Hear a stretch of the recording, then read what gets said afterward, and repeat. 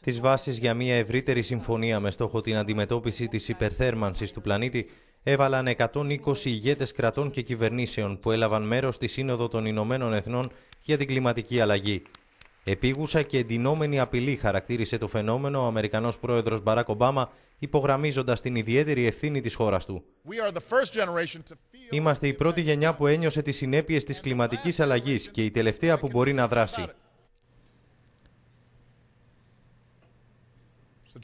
Γι' αυτό σήμερα βρίσκομαι εδώ προσωπικά ως ηγέτης της μεγαλύτερης οικονομίας στον κόσμο και της δεύτερης μεγαλύτερης υπεύθυνης για την εκπομπή αερίων για να σας πω ότι έχουμε ξεκινήσει να αναλαμβάνουμε δράση.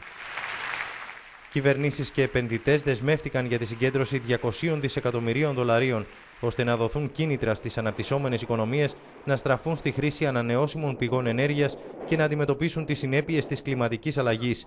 Στόχος η επίτευξη μιας παγκόσμιας συμφωνίας για τη μείωση της εκπομπής αερίων του θερμοκηπίου στη διάσκεψη του Παρισιού το 2015.